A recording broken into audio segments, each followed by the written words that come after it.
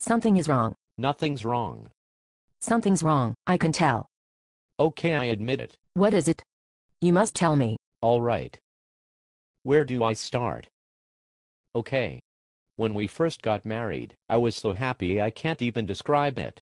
It was like walking on something transparent and extremely light. Go on. And for a while it was perfect, but then after a while, something inside me began to change. I tried to ignore it, hoping I would go back to how I was feeling at the start, but instead I just became more confused, until eventually I realized I could no longer keep running, and that it was time to face the truth. So what are you trying to tell me? What is it you want? I don't know. I feel like I don't know anything anymore. All I know is that I can't go on living like this any longer. I see. And are you sure about the way you are feeling now? After all, we have only been married for around 45 minutes. Yes. I must have gone over it in my head a thousand times. This is all my fault. It's no one's fault. Yes, it is. It's my fault. Ever since we got married, I've become increasingly difficult to be with, thinking only of myself and my own needs. I should have paid you more attention. Taken more of an interest in your work.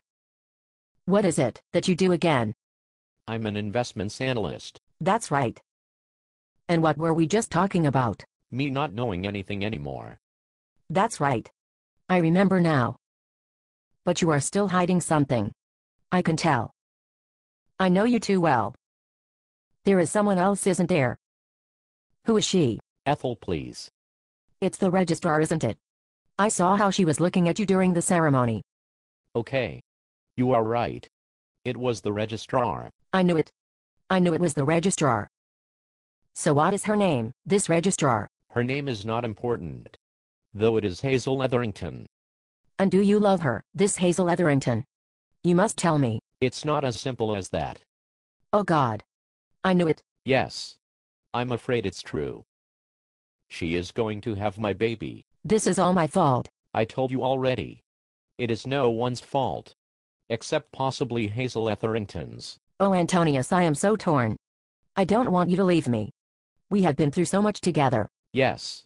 However, there is a possible solution. There is? And what is that? We adopt Hazel Etherington. Adopt Hazel Etherington? Yes. Think about it. You can have the daughter you have always wanted. And soon a grandchild too. While I can have you, and also Hazel Etherington. You are right. It is the solution to all our problems. We must do it. I will instruct my lawyers to have the papers ready by the morning. You make me so happy Antonius. You make me very happy also. And soon we shall be a family.